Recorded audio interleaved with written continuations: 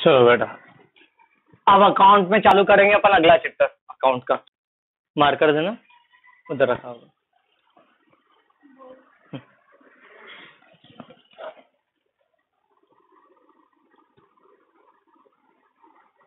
Partnership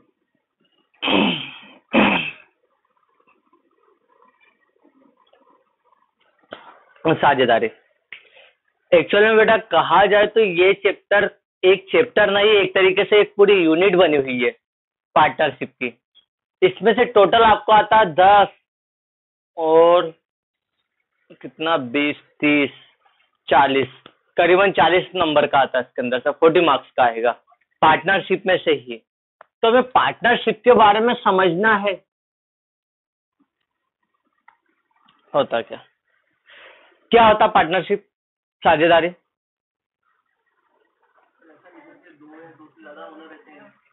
हम्म। और दो से ज़्यादा ओनर्स तो बहुत सारी जगह पे रहते हैं, लेकिन एक्चुअल में होता क्या? रखो। हाँ देखो, जब साझेदारी से पता चला पार्टनरशिप पार्टनरशिप वर्ड्स कम ना कई बार यूज़ कई बार सुना होगा। अधिकतर मैच में ज़्यादा सुनते हैं बॉयस कि शर्मा ने, धवन ने इतने रन की पार्टनरशिप कर ली है। पार्टनरशिप मतलब दोनों का सहयोग। ऐसा व्यवसाय जो दो या दो से ज़्यादा लोगों के सहयोग से चलता है। ठीक है? ऐसे व्यवसाय को क्या कहेंगे? पार्टनरशिप बिज़नेस कहेंगे, साझेदारी व्यापार। इसका उद्देश्य क्या होगा? अर्निंग प्रॉफिट देखो पार्टनरशिप में दो चीज़ आनी चाहिए। सबसे पहला आना चाहिए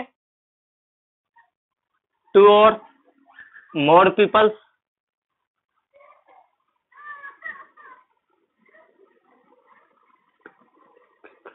दो या दो से ज़्यादा लोग, इसका ऑब्जेक्ट क्या होता है? अर्निंग प्रॉफिट लाभ कमाने का उद्देश्य। जब दो या दो से ज़्यादा लोग ज़्यादा लोग किसी व्यापार में एक साथ कार्य करते हैं, लाभ कमाने के उद्देश्य से तो ऐसे व्यापार को हम क्या कहते हैं? साझेदारी व्यापार कहते हैं पार्टनरशिप ठीक है? पार्टनरशिप एक बिज़नेस है, जिसमें दो या दो से ज़्यादा ओनर्स रहते हैं, साथ में मिलकर बिज़नेस चालू करते हैं, उसको प्रॉफिट कमाते हैं, उस प्रॉफिट को आपस में शेयर करते है। ना? तो ये आता है पार्टनरशिप इस पार्टनरशिप एक्ट मतलब इस व्यवसाय को चलाने के लिए भी कुछ नियम कानून बनाए गए। ये बनाए थे अंग्रेज़ों ने 1932 में। 1932 में। इसलिए अधिनियम का नाम ही रख दिया, द पार्टनरशिप एक्ट। 1932 साझेदारी अधिनियम 1932 1932 ध्यान से समझना बेटा, क्योंकि अगर ये चैप्टर ही सबसे इंपॉर्टेंट है, जो अभी आप करो, बाकी के चार चैप्टर इसके ऊपर बेस है। क्लियर है? इसकी डेफिनेशन डिफाइन की है सेक्शन फोर में। देखो, निकालो बुक एक बुक वो सामने रखी होगी। मनोज जी, इसको, है ना? इस तरफ़ कर लो।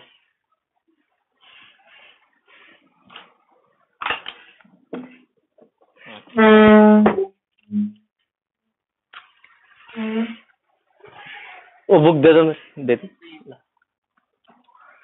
बुक है आपकी? कोई दिक्कत नहीं बेटा। ये लिखा। आपकी बुक लाना चाहिए ना बेटा। ये बुक आप इनको दे दो, है ना? और आप दोनों इसमें से देख लो। और आप दोनों इसमें से देख लो। ठीक है? देखो क्या कहा इसमें? According to section four of Indian partnership act 1932 the terms partnership define as तो कोई अधिनियम में इस क्या जब ये एक नियम है, इसके अंदर जब भी जैसे पार्टनरशिप से रिलेटेड कोई बिज़नेस आता है मतलब कोई केस आता है तो जज क्या ओपन करेगा? पार्टनरशिप एक्ट 1932 उसमें सेक्शन फोर में कहेगा। वो देखेगा कि ये बिज़नेस पार्टनरशिप में आ रहा है या नहीं आ रहा है। तो देखो, इसमें क्या बोला? द रिलेशन बिटवीन टू और मोर पर्सन, दो या दो से ज़्यादा लोगों के बीच में ऐसा संबंध who have agreed to share the profit जो किसी ऐसे लाभ को बांटने के लिए सहमत हुए हैं ऑफ़ आ बिज़नेस किसी ऐसे बिज़नेस के लाभ को बांटने के लिए सहमत हुए सहमत हुए carried by by all partner जिसका संचालन, जिस व्यापार को सभी पार्टनर या उन सबके बिहार पे कोई एक पार्टनर चला रहा है। तो ऐसे बिज़नेस को हम क्या बोलेंगे? पार्टनरशिप बिज़नेस सभी चला सकते हैं या उनके ब्याह पे कोई एक बंदा भी चला सकता है? उनके ब्याह पे भी कैसे होगा? लाइक आपने एक मेडिकल शॉप खोली। चार बंदे आप सबने सोचा हम दो दो लाख रुपए मिलाते आठ लाख रुपए में ए बी सी डी चार पार्टनर्स ने दो लाख रुपए। एक पार्टनर ने लगाया तो आठ लाख रुपए में एक बिज़नेस आपने चालू करा। अब ये जो डी है, ये पिछले दस साल से मेडिकल लाइन में काम कर रहा था। उसको मेडिकल मेडिसिन का इतना नॉलेज है कि आपने इन तीनों ने इसके भरोसे पे बिज़नेस चालू करा। आपको पता ही नहीं, उसने बोला सर दर्द की गोली और आपने कोई पेट दर्द की गोली दे दी उसको, है ना? क्योंकि देखो, दवाई का मामला है, हल्की सी गलत गोली है, हल्की सी गलत कंपनी है, आपने कोई सी एम भी कम ज़्यादा दे दी तो भी पेशेंट की जान पे आ सकता है। तो आप तीन डर गए, बोले नहीं, हमारे पास पैसा हम लगा सकते। बैठेंगे छोटा मोटा काम हम कर लेंगे। बाकी एक्टिव पार्टनर कौन है? ये चारों को नॉलेज है तो चारों चला सकते हैं पार्टनरशिप बिज़नेस यदि किसी एक को तो इन तीनों के बिहार पर ये चला सकता है। ध्यान रखना। तो पार्टनरशिप इसका मतलब ये नहीं कि फ्यूचर में लड़ाई हो, यार बिज़नेस मैंने अकेले नहीं चलाया है प्रॉफिट भी मैंने अकेले नहीं कमाया ये तीनों तो बस बैठे रहते थे। तो पूरा प्रॉफिट में रखूँगा। जज क्या बोलेगा? नहीं पार्टनरशिप की डेफिनेशन में क्या आ रहा है? कि सब चला सकते हैं, आप तीनों के बिहार पर आप ही चला रहे हो। तो पार्टनर ऐसा माना जाएगा, इस बिज़नेस के मालिक आप चारों तो डेफिनेशन में आता है। इसका मतलब ही नहीं कि सर एक एक बंदा बिज़नेस चला रहा है तो पार्टनरशिप बिज़नेस नहीं होगा। हो सकता है, बाकी के पार्टनर स्लीपिंग पार्टनर होंगे। ये एक्टिव पार्टनर है, बाकी स्लीपिंग पार्टनर होंगे। ठीक है? तो आपको पता होना चाहिए, हिंदी मीडियम में भी लिखा है, साझेदारी अधिनियम भारतीय साझेदारी अधिनियम 1932 की धारा चार के अनुसार, साझेदारी अनुबंध दो या दो से ज़्यादा व्यक्तियों के बीच में परस्पर ऐसा अनुबंध है जो किसी ऐसे लाभ को बांटने के लिए सहमत है, जिसका संचालन सभी के द्वारा या उनके बिहार पर किसी एक व्यक्ति द्वारा किया जा रहा है। ठीक है? बेटा, एक डेफिनेशन आती कई बार दो नंबर में डिफाइन पार्टनरशिप डिफाइन करने के लिए बोला उसने what do mean by partnership नहीं था? डिफाइन मतलब डेफिनेशन देना है आपको। तो यही डेफिनेशन देनी पड़ेगी आपको। क्लियर है? तो देखो, अभी पार्टनरशिप का जन्म हुआ कैसा था? एक बंदा जब भी बिज़नेस चालू करेगा, हमेशा ही लॉस में जाएगा। बहुत कम चांसेस रहते कि अकेला बंदा प्रॉफिट में भी चली गया तो उसके ऊपर प्रेशर बहुत रहेगा। बहुत प्रेशर रहेगा। बिज़नेस करना अपन बात पढ़ नहीं रहे, अपन प्रैक्टिकली बात कर रहे फ्यूचर में भी अगर आप बिज़नेस लाइन में जाना चाहते हो तो कोशिश करना कि आपके साथ एक पार्टनर और हो जाए। तो एक अकेला पूरा बिज़नेस का ऑपरेशन नहीं देख सकता है। बहुत मुश्किल काम है आज के टाइम पे लाइक मैं अपनी कोचिंग में अगर मैं अकेला ही ओनर हूँ तो मैं अकेला संभाल नहीं सकता। बहुत सारे बच्चों की फ़ीस रह जाती है मैनेजमेंट रह जाता है पेरेंट्स से बात करना है। पढ़ाते टाइम कई बार पेरेंट्स से जाते हैं, उनसे डील करना रह जाता है। तो बहुत सी ऐसी प्रॉब्लम है जो मैं अकेला हैंडल नहीं कर सकता हूँ। तो मैंने क्या करा, अपने पास साथ कुछ पार्टनर्स जोड़ लिए, ताकि वो मेरा बाकी का प्रेशर क्या करे, वो संभाल ले। तो ध्यान रखना बेटा पार्टनरशिप जो सोल बिज़नेस है, एकल व्यवसाय है, इसमें बहुत सारी प्रॉब्लम्स आती थी।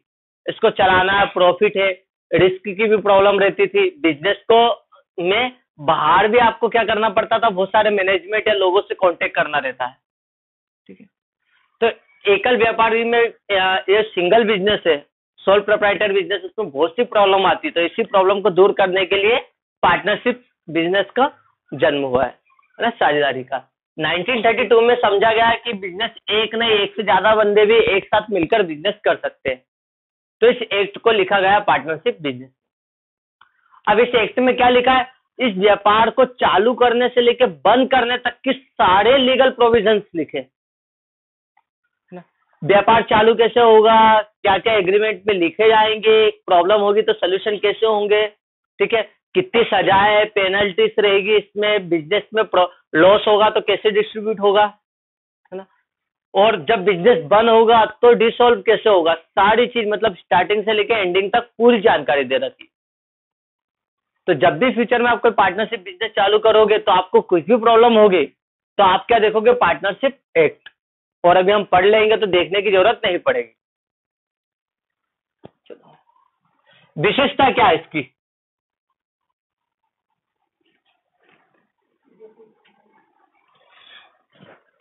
साझेदारी व्यापार की विशेषता है। सबसे पहली विशेषता लीगल एग्रीमेंट सबसे बड़ी विशेषता है भी। मतलब वेद अनुबंध होना चाहिए।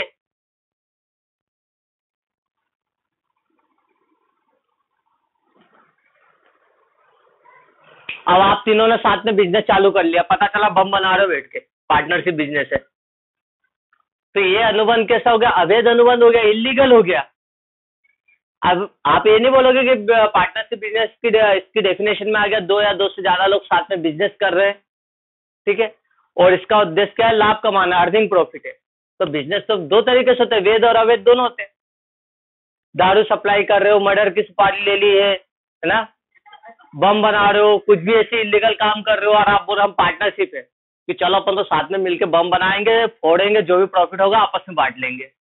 ये नहीं कर सकते। अनुबंध वेद होना चाहिए लीगल गवर्नमेंट ने एक ही बोला कि भाई लीगल एग्रीमेंट हो, चाहे वो रिटर्न हो या बड़वल हो।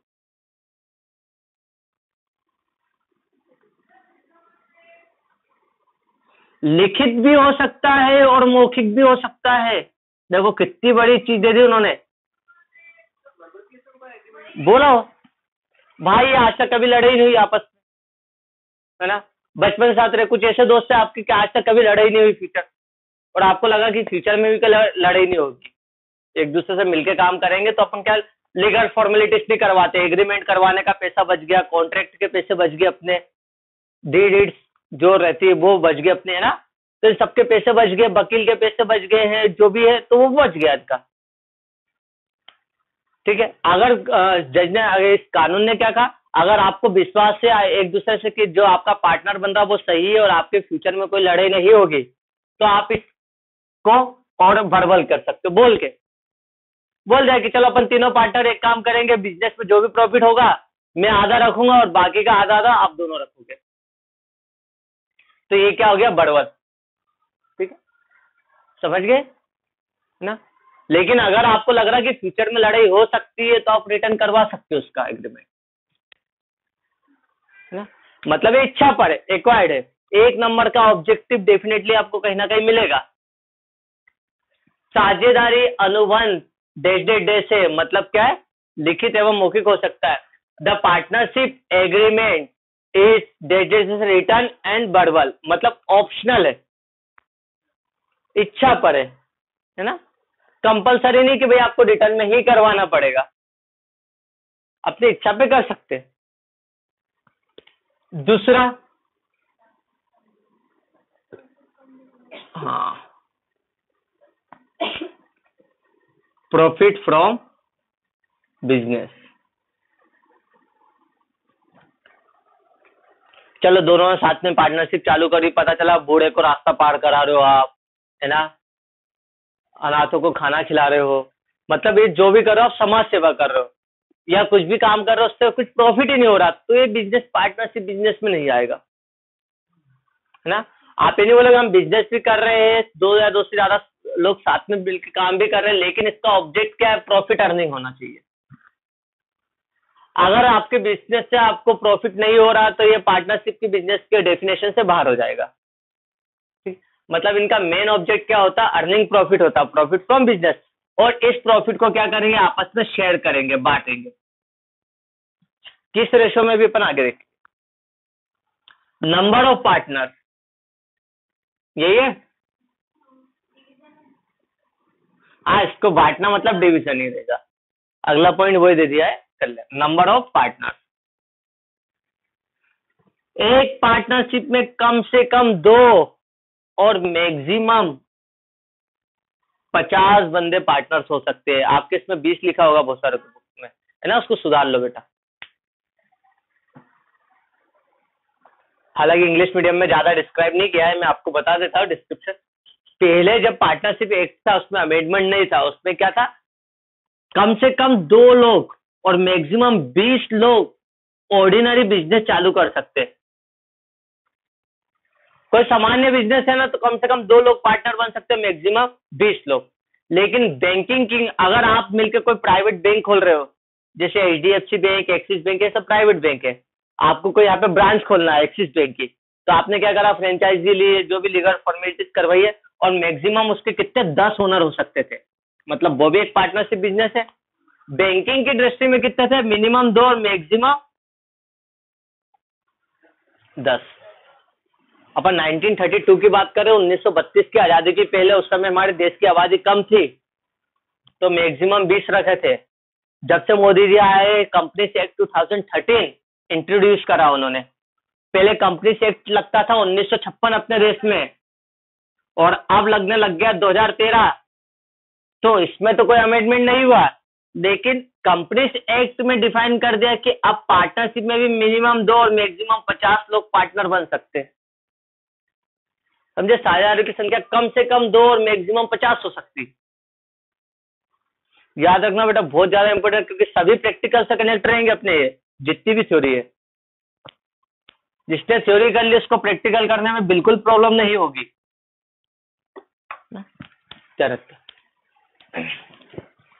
कम से कम दो और मैक्सिमम पचास बंदे पार्टनर बन सकते हैं, ये ऑब्जेक्टिव में भी आता है। फिर अगला पॉइंट क्या? रनिंग पार्टनरशिप सभी पार्टनर या उनके बिहार पे कोई एक चला सकता है? लिखा।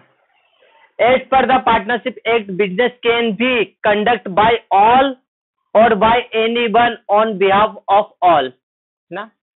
मतलब इस व्यवसाय का संचालन सभी साझेदारों द्वारा या उनके बिहाफ पे कोई एक कर सकता है? है ना? रनिंग?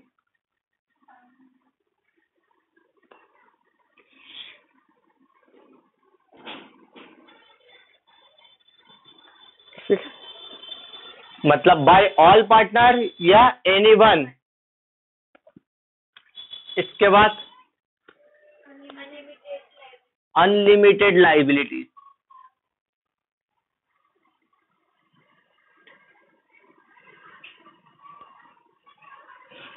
हिंदी में कहा जाए तो असीमित, दायित्व। देखो, आपको पता कम से कम दो लोग मैक्सिमम पचास लोग पार्टनर बन सकते हैं बिज़नेस में। मतलब इन दो से पचास के बीच में भी आप फ्रॉड इजीली ट्रेस कर सकते हो।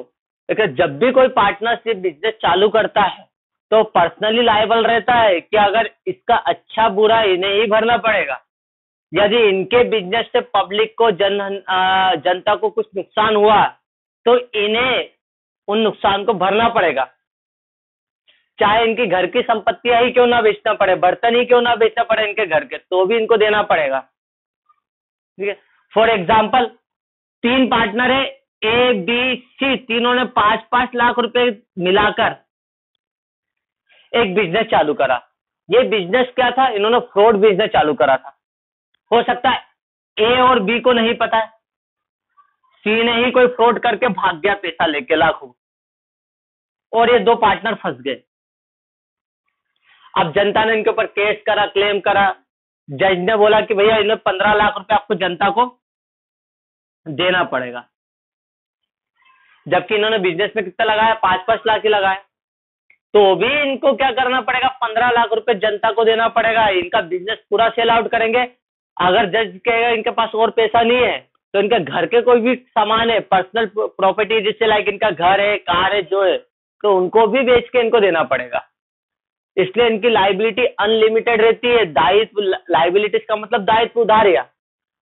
जो हमें देना रहता है। लेकिन ये लाइबिलिटीज इनकी क्या रहती है? अनलिमिटेड रहती है। अगर इनके कारण किसी को नुकसान हुआ है तो इनको इनकी पर्सनल असेट सेल करके भी लाइबिलिटीज को पूरा करना पड़ता है। कोई लिमिट नहीं है इनकी। ठीक है?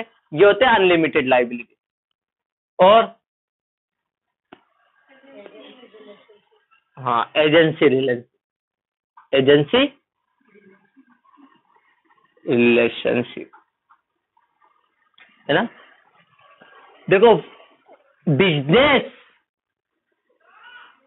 पार्टनरशिप बिज़नेस और पार्टनर्स के बीच में कैसा रिलेशन रहता है? ओनर और एजेंट का। एक तरीके से पार्टनर क्या माने जाते हैं? इस बिज़नेस के एजेंट माने जाते हैं। ठीक है? तो इनका रिलेशन किसका रहता? है ओनर और एजेंट का। इनके बीच में जो रिलेशन बनता है, वो एजेंसी रिलेशनशिप मानी जाती है, एक तरीके से।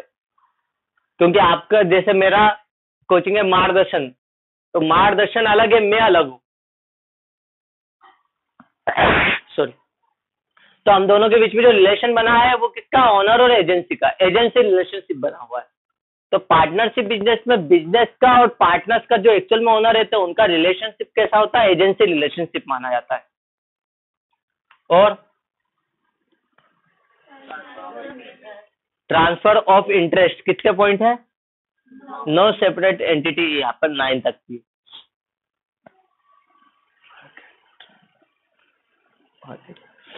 फिर एक है, हितों का हस्तांतरण transfer of interest of interest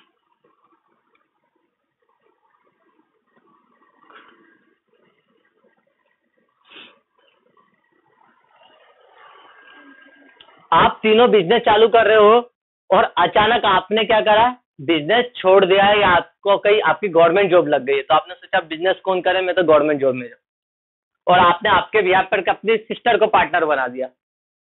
नहीं कल से क्या, आज तुम चली जाओ मेरी जगह, अब मैं अपने जॉब पे चली जाती हूँ। बाकी इन दोनों को पता ही नहीं कि आपकी सिस्टर अब पार्टनर बन गई है। मतलब आप अपना राइट ट्रांसफ़र नहीं कर सकते without concern of all partner जब तक ये दोनों राज़ी नहीं होंगे, तब तक आप नया पार्टनर से अपना कोई भी राइट किसी और को ट्रांसफ़र नहीं कर सकते। है ना? इसमें ये चीज़ ध्यान रखना। आप अपने राइट्स को ट्रांसफ़र नहीं कर सकते, है ना? Without concern of all partners तभी हो सकता है इन दोनों की आपके सिस्टर से नहीं बनती डिस्प्यूट होता हो या आप, उनको लग रहा है कि वो उस पोस्ट के लिए डिजर्व नहीं करती। और नो? सेपरेट एंटिटी तो इसमें कौन सा पॉइंट है? एट नंबर का।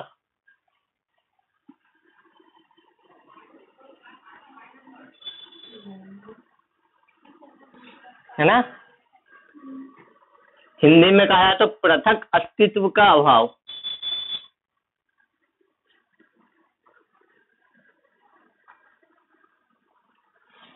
ऐसा माना जाता है कि पार्टनरशिप बिज़नेस और पार्टनर्स दोनों एक ही है अलग अलग नहीं मानते। इन्हें एक सिंगल एंटिटी माना जाता है, ना? जबकि कंपनी में उल्टा रहता है। कंपनी में लाइबिलिटीज भी लिमिटेड रहती है सेपरेट एंटिटी भी रहती है। देखो किंग फिशर और मालिया दोनों अलग अलग एंटिटी मानी जाती है। है ना? मालिया ने अगर गलती करी तो मालिया को सजा होगी किंग फिशर को कुछ भी नहीं हुआ, अभी भी चल रही है। क्योंकि सेपरेट एंटिटी अगर दोनों सिंगल एंटिटी होती है तो किंग फिशर को भी बंद करना पड़ता। जबकि पार्टनरशिप में नंबर ऑफ़ पार्टनर्स लिमिटेड रहते हैं, इसलिए पार्टनरशिप बिज़नेस और पार्टनर्स दोनों को एक ही माना जाता है। कल से फ्रॉड कर रहे तो ये नहीं बोलोगे क्या फ्रॉड तो मेरे बिज़नेस से करा, मैं थोड़ी ना। ये दोनों को एक ही एंटिटी माना जाएगा। ये आठ है, आपको कोई चार करना है। सिंपल है, सबसे पहले बता सकते हैं लीगल एग्रीमेंट वेद अनुबंध है। नंबर ऑफ़ पार्टनर्स मिनिमम दो मैक्सिमम पचास। ठीक है? फिर रनिंग आ बिज़नेस सभी पार्टनर्स या इनके ब्याह पे कोई एक, है ना? अर्निंग प्रॉफिट इसका मेन मोटिव क्या होता है? अर्निंग प्रॉफिट हो अनलिमिटेड लाइबिलिटीज बता सकते हैं नो सेपरेट एंटिटी बता सकते हैं। तो बेटा आठ पॉइंट से आठ में से आप कोई से भी चार पॉइंट आप कर लो। अधिकतर चार नंबर में क्या क्वेश्चन आ जाता है? What do you mean by partnership define its charactership साझेदारी को परिभाषित करते हुए इनकी किन्हीं चार विशेषताओं का वर्णन कीजिए। तो बेटा ये आ सकता आपको। ठीक। देख लो इनमें से आपको कौन कौन से पॉइंट चार अच्छे लग रहे हैं? पाँच पॉइंट लिख लो आप इसके। ठीक है? स्टार्टिंग के पास नीचे भी करना पड़ेगा ऑब्जेक्टिव में आ सकते बेटा। ये आ सकता है, ये आ सकता है ऑब्जेक्टिव में। लाइबिलिटीज का आ सकता है। ऑब्जेक्टिव मतलब एक नंबर का ऑब्जेक्टिव नहीं छूटना चाहिए इसमें से। ठीक है?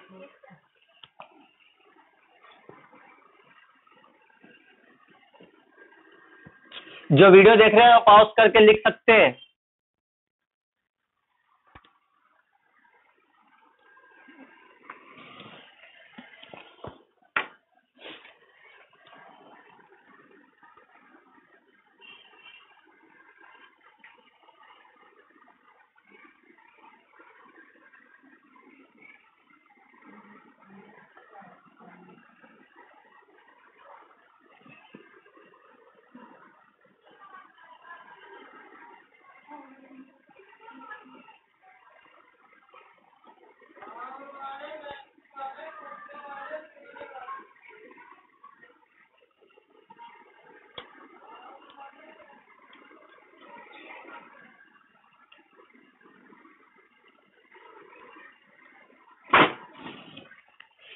एक फर्म में कौन कौन व्यक्ति साझेदार बन सकते हैं? Who may be a partner in a firm ठीक है? पहले तो एक तो बना दिया बिज़नेस चालू है तो बिज़नेस में बहुत सारी प्रॉब्लम्स ऐसे ही है कि एक्चुअल में जज को लग रहा था कि यार इसे तो पार्टनर्स मानना ही नहीं चाहिए। ठीक है? लाइक तीन पार्टनर है ए बी सी ए और बी ने जनता को बहुत चूना लगाया, लाखों तक का चूना लगा के क्या करा, भाग गए। और सी पकड़ में आया, जब पुलिस ने छापा मारा और पता चला कि सी एक ही पार्टनर है, बाकी दो भाग चुके हैं। तो क्या करें, सी को पकड़ ले, जेल में बंद कर दे। यही कर सकते, क्योंकि पार्टनरशिप की डेफिनेशन में क्या अनलिमिटेड लाइबिलिटीज इनके दायित्व सीमित है। अगर इनकी वजह से जनता को भी नुकसान हुआ तो इनके घर के बर्तन बेच के भी पैसा देना पड़ेगा। ये था। लेकिन बाद में पता चला जो सी है, वो कितने साल का है? पाँच साल का। एक छोटे से बच्चे को पार्टनर बना दिया। अब जज को तो दिख रहा है कि भैया तो छोटा बच्चा है, इसको पार्टनर कैसे बना दिया? बोले एक्ट में तो बता नहीं रखा कि पार्टनर की कितनी उम्र होनी चाहिए। छोटे बच्चे को पार्टनर बना दिया फ्रॉड करके बाकी दो भाग गए। तो जज ने पहला क्लॉज डाला इसमें कि एक फर्म में वो व्यक्ति पार्टनर बन सकता है जो कितना एटीन ईयर है ना? और मोर उससे ज़्यादा का हो। वह व्यक्ति साझेदार बन सकता है, जिसकी आयु अठारह वर्ष या उससे अधिक हो चुकी है तो वो व्यक्ति साझेदार बन सकता है। फिर भारत देश है। कुछ ना कुछ जुगाड़ लगा लेते हैं। चलो, इस बार भी इन्होंने पार्टनर बना लिया। एक्स वाई जेड एक्स और वाई ने बहुत चूना लगाया, लाखों करोड़ों कमाया, फिर भाग गए। पुलिस आई धरना दिया जेड को पकड़ा। देखा भाई जेड उम्र कितनी है चौबीस साल। चलो ठीक है, पार्टनर है अनलिमिटेड लाइबिलिटीज इसको पकड़ के ले गई पुलिस के पास। अब जज के सामने गया। और जाके इसने कुछ जैसे ही बोला तो समझ में आ गया, ये क्या पागल। दिमाग से पागल है। है ना? तो उस व्यक्ति को फिर इन्होंने क्या बोला? क्या पब्लिक ने डिस्प्यूट करा इसके ऊपर और मतलब जज से भी सवाल पूछे वकील ने कि आपने सर क्या बोला था? आपको पता वकील ऐसे क्वेश्चन करता है। आपने पार्टनरशिप एक्ट में डिफाइन किया था अठारह साल से बड़ा होना चाहिए अठारह साल बड़ा है चौबीस साल का है। मतलब इससे माना जाए कि एक पा, मतलब पार्टनर है इसकी लाइबिलिटी अनलिमिटेड है तो उसकी संपत्तियाँ बेच के हमारे क्लाइंट्स का पैसा दिया जाए। तो जज ने बोला भैया उसको होशो आवाज़ ही नहीं उसको बोलते नहीं आ रहा वो कैसे बैठा है क्या है उसको कुछ पता नहीं है। पार्टनरशिप बिज़नेस में एग्रीमेंट में इसका नाम जोड़ दिया। तो क्या करे? जज है देखो, सुप्रीम कोर्ट का जज क्या उसी वक्त अगर चाहे तो कानून में बदलाव कर सकता है छोटे मोटे जैसे निर्भया निर्भया रेप और उसमें भी हुआ था, ठीक है? उसको बच्चा मान लिया था, क्योंकि उसकी उम्र अठारह साल से कम थी। तो ले नाबालिग है इसको नाबालिग की जेल में पहुँचाया जाए। लेकिन सुप्रीम कोर्ट में नाबालिग अठारह साल है सोलह, सत्रह साल का मतलब सही गलत समझ रहा वो। तो नाबालिग की उम्र उसने अठारह से कम करके कितनी कर दी? चौदह कर दी। कि अब से चौदह साल के बाद लोगों को समझ हो जाती तो अभी चौदह से बड़ा है तो उसको बालिक में गिना जाएगा। मतलब इसका क्राइम एक संगीन क्राइम माना जाएगा और उसे बड़ों की जेल में ही दिया, पहुँचाया जाएगा। है ना? बाल सभा सुधार गृह आता है वो। जो बच्चे, छोटे बच्चे क्राइम करते हैं ना तो उनको सुधारने के लिए एक स्कूल टाइप का बना रखा है है ना? उनमें उनको सजा दी जाती है, उनमें उनको सुधार कार्यवाही कार्यवाही की जाती है। तो ये कितना है? चौबीस। तो दूसरा डाला कि वो मेंटली फिट हो मतलब अनसाउंड माइंड का ना हो, है ना? साउंड माइंड अनसाउंड माइंड का ना हो मतलब साउंड माइंड का हो है ना?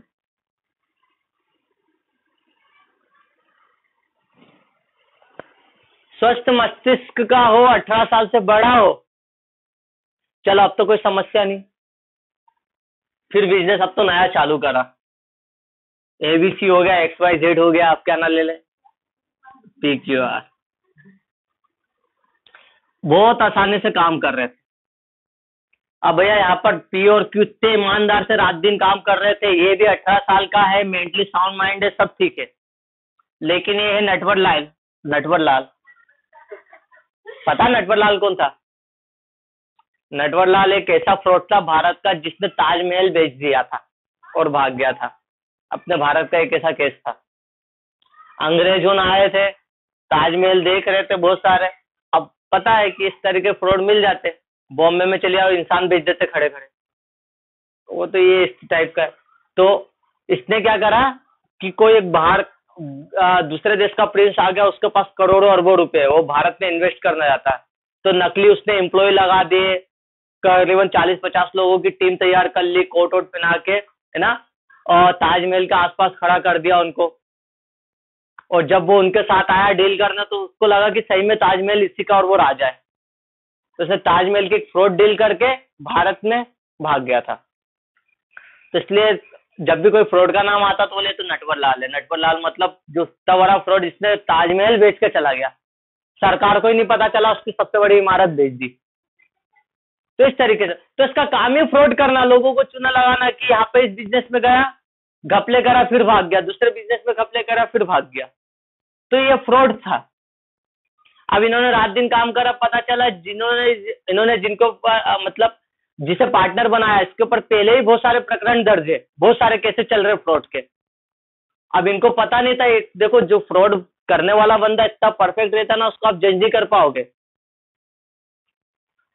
आएगा प्रॉपरली बिज़नेस की पूरी बातें करेगा डील अच्छी करेगा, बाद में पता चलेगा, जो भी लाखों करोड़ों का चुना लगा के भाग जाए तो यहाँ पे जज ने क्या करा? फिर तीसरा डाला कि उससे हमारे देश के संविधान द्वारा या सुप्रीम कोर्ट या कोर्ट के द्वारा उससे अनुबंध करने के लिए अयोग्य घोषित ना कर दिया गया। है ना? इज़ नॉट डिक्लेयर है ना and incapable for contract by law and by court हमारे देश के कानून या कोर्ट द्वारा अनुबंध कर दे, के अयोग्य घोषित ना कर दिया गया।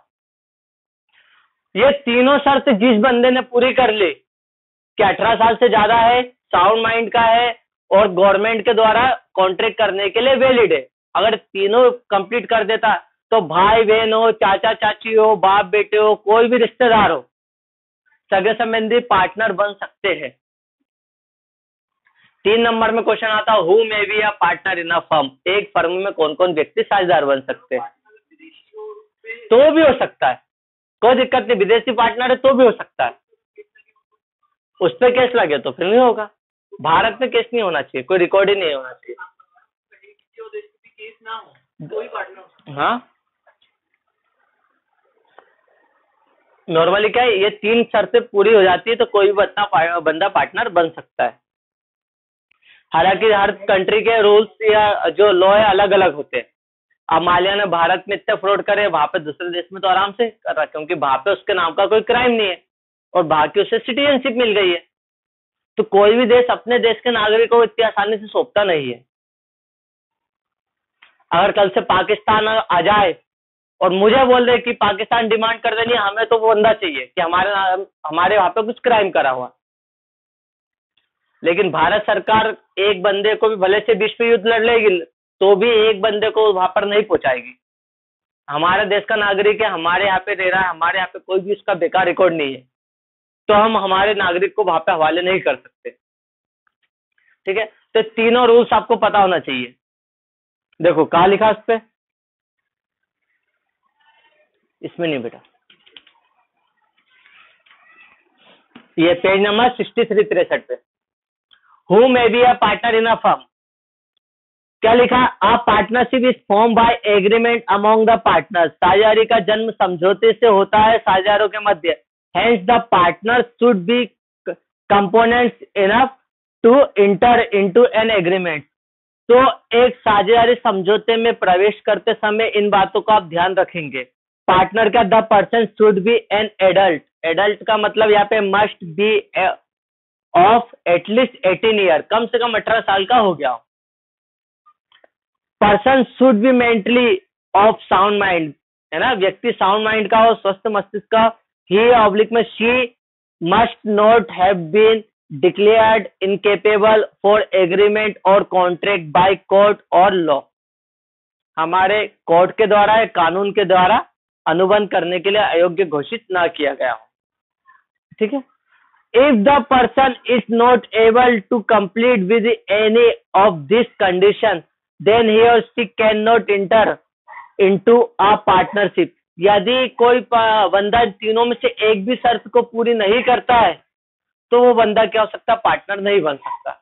अब कई बार ऐसा होता कि सत्रह साल का है, छह महीने का हो गया, बस पाँच छह महीने बाद पार्टनर मतलब एडल्ट बन जाएगा।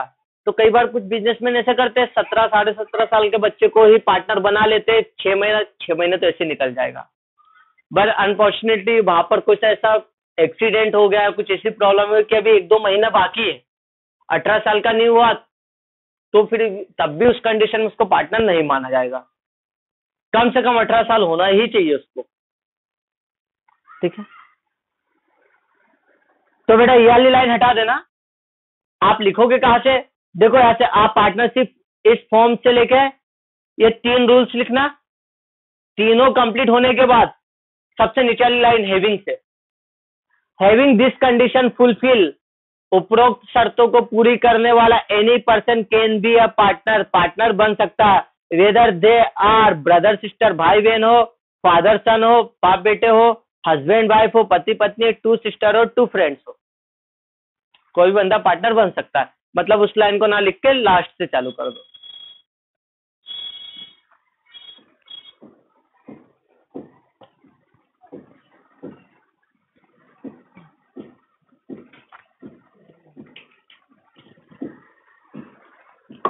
बताओ।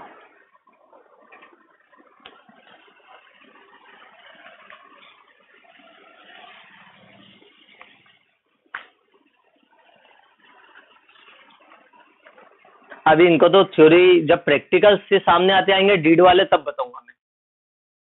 छोड़ना एक भी नहीं अपने इस, इस चैप्टर में से थ्योरी अब एक पार्टनरशिप डीड के अपन अकाउंटिंग की बात करते हैं। देखो एक सिंगल अगर मेरा सोल प्रोप्राइटर है सिंगल बिज़नेस है पार्टनरशिप बिज़नेस नहीं है तो मैं क्या बनाऊँगा ट्रेडिंग अकाउंट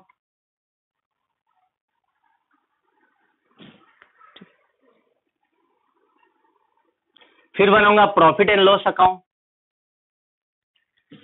trading account से हम क्या निकालते थे? To gross profit gross profit को ट्रांसफ़र करते थे by gross profit profit and loss में, और यहाँ से निकालते थे टू नेट प्रॉफिट इस प्रॉफिट अगर मेरा सिंगल बिज़नेस है मतलब सोल प्रोप्राइटर हूँ, एकल स्वामी हूँ तो इस प्रॉफिट को पूरा मैं घर पे ले जाऊँगा। लेकिन अगर मेरा बिज़नेस पार्टनरशिप बिज़नेस है साझेदारी व्यवसाय है तो इस प्रॉफिट को किसमें बांटना पड़ेगा? पार्टनर्स के बीच में। तो पार्टनर्स के बीच में प्रॉफिट बांटने के लिए एक अलग से अकाउंट खोला जाता है, जिसका नाम है profit and loss appropriation account मतलब फिर इस प्रॉफिट को भी हम ट्रांसफ़र कर देते कहाँ पर? एक और अकाउंट बनाते हैं जिसका नाम है profit and loss appropriation account और ये प्रॉफिट कहाँ से लिखते हैं? By profit and loss account से उठा के इस प्रॉफिट को इधर ट्रांसफ़र कर देते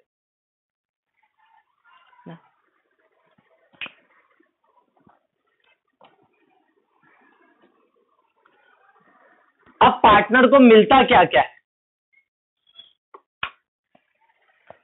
सबसे पहले पार्टनर्स को जो चीज़ मिलती है वो देखते हैं। सबसे पहले पार्टनर्स को मिलेगी इंटरेस्ट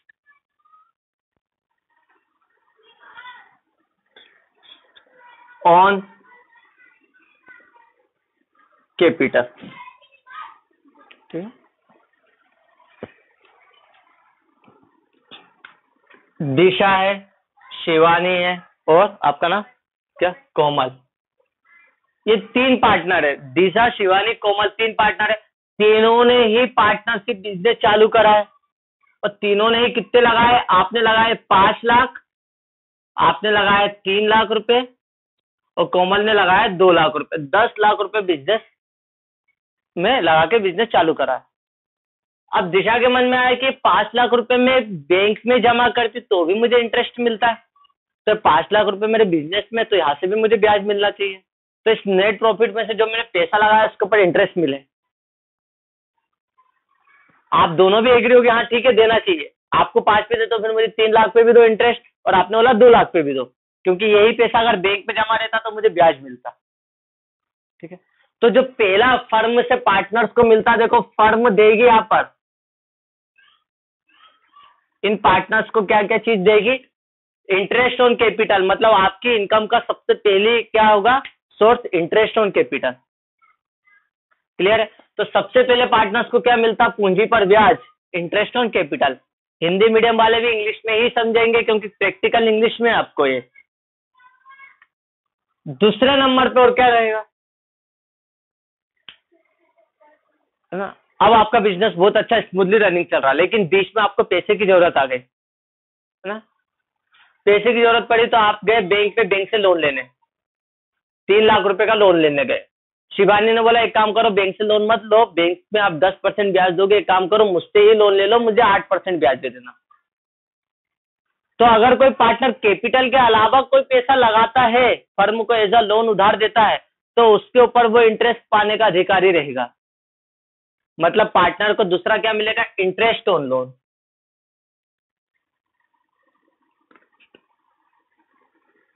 लोन ये पार्टनर को क्या क्या इनकम होती है? अपन इनकम की बात कर रहे हैं पार्टनर्स की।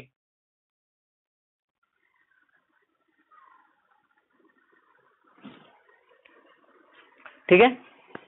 तो दूसरी इनकम क्या होगी? इंटरेस्ट ऑन लोन मनस्वी बेटा, इधर देखो, अभी बुक की ज़रूरत नहीं है ना। इंटरेस्ट ऑन लोन फिर तीसरा क्या होगा?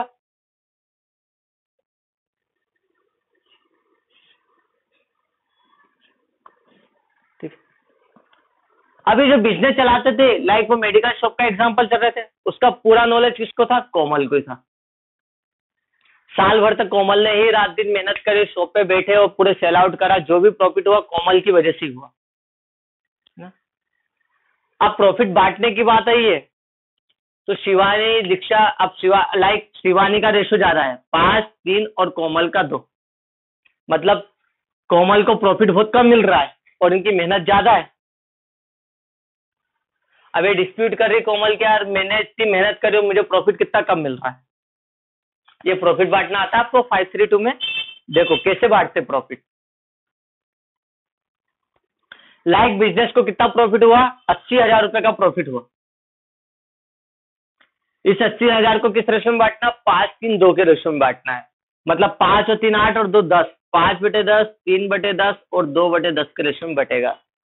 मतलब शिवानी को अस्सी हज़ार का कितना मिलेगा? फाइव बाई टेन दिशा को अस्सी हज़ार रुपए का थ्री बाई टेन मिलेगा, तीन बटे दस।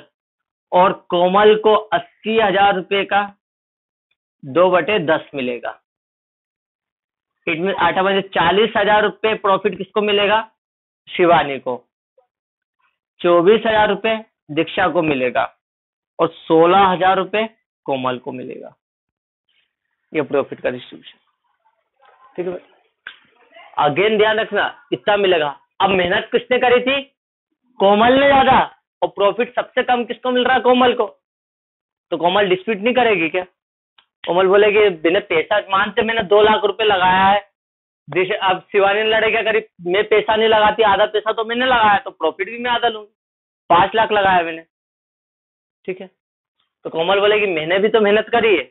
पैसा मैंने कम लगाया, लेकिन जो भी प्रॉफिट हुआ, मेरी वजह से हुआ। मुझे कम मिल रहा है। तो इन्होंने ठीक है लड़े मत करो प्रॉफिट तो अपन यही मानेंगे। इसके ऊपर कोमल को क्या दे दी जाएगी? सैलरी दे दी जाएगी। यदि कोई पार्टनर को फर्म से सैलरी मिल रही है तो सैलरी भी क्या होगी?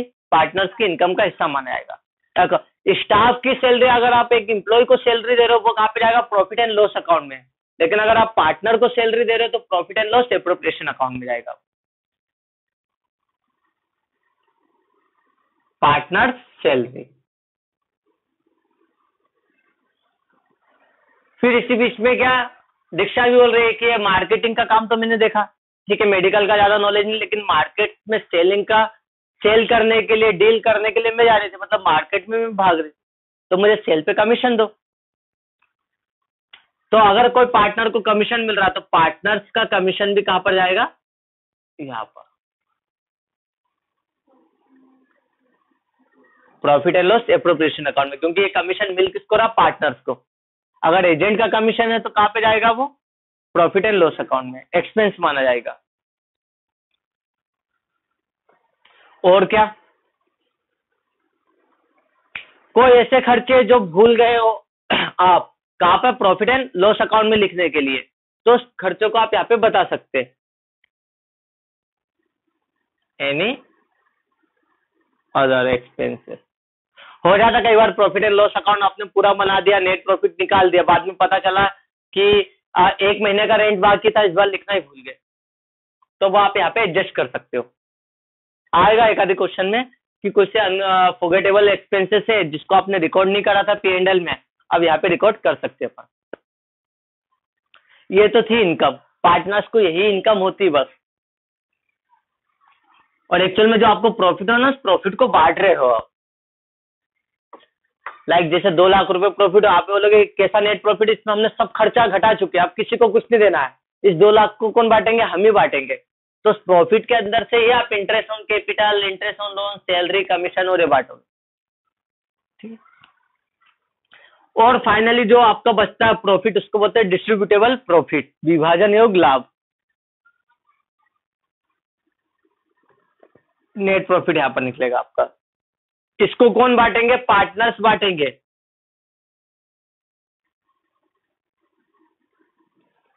ठीक है? किस रेशो में आपने जो भी डिफाइन किया हुआ रेशो है ना?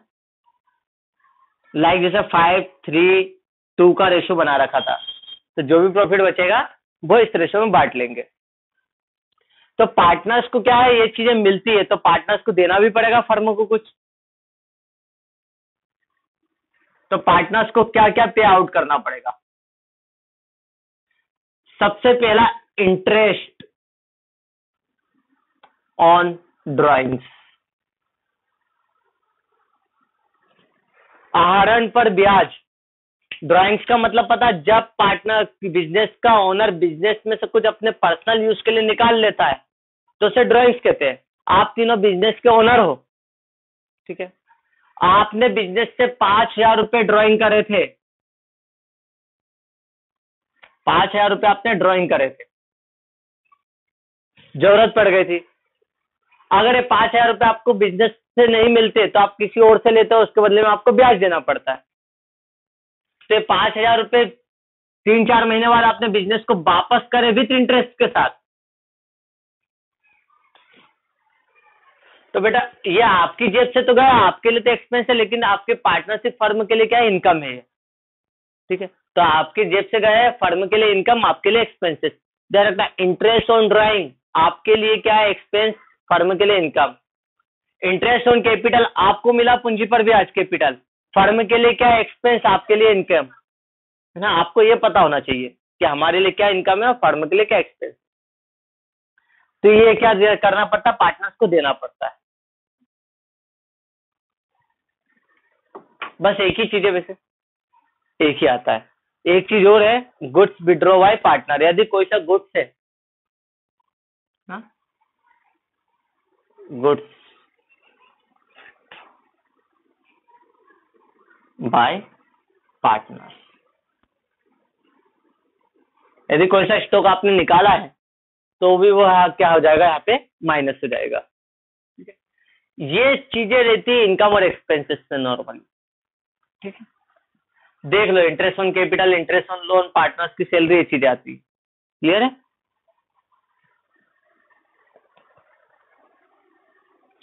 किसी को कुछ पूछना है बेटा? पूछ सकते हो। पूछ लो जैसे। क्योंकि कल से प्रैक्टिकल चालू करेंगे अपन। प्रैक्टिकल कुछ भी नहीं छूटना चाहिए इसमें। शिवानी, आपको पूछना?